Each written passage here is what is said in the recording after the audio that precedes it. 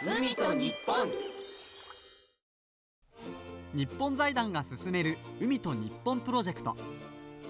この番組ではプロジェクトに賛同し海を未来へ引き継ぐため宮崎の海の魅力を発信しています。今回は宮崎市の漁師町青島が1年で最も暑くなる祭り海を渡る祭礼をご紹介します。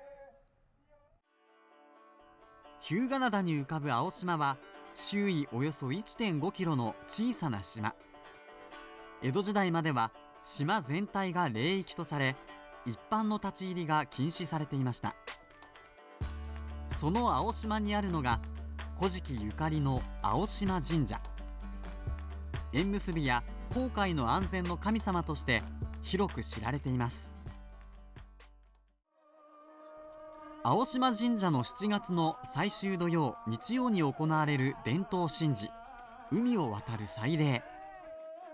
豊漁や無病息災を祈願する夏祭りは準備から当日の運行まで満23歳を迎える地元の若者たちが取り仕切ります。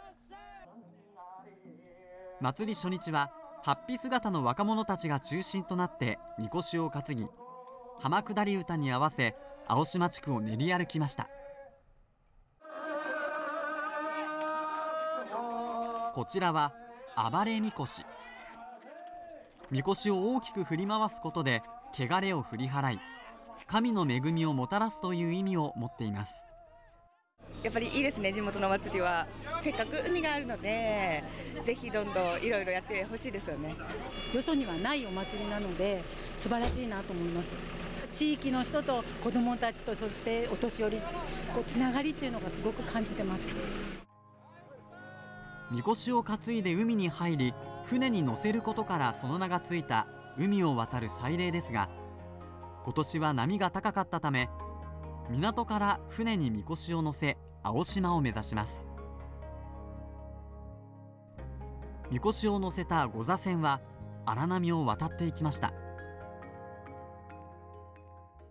地元青島のですねそれはもういいとこを取った祭りになると思うのでこうやって地域の人皆さんがですね協力してやってくれることを誇りに思います。これからも青島の大事な伝統なので伝えていきたいと思ってます。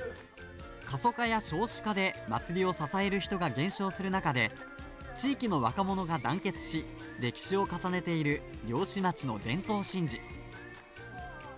海と地域をつなぐ祭りとしてこれからも受け継がれていきます。海と日本。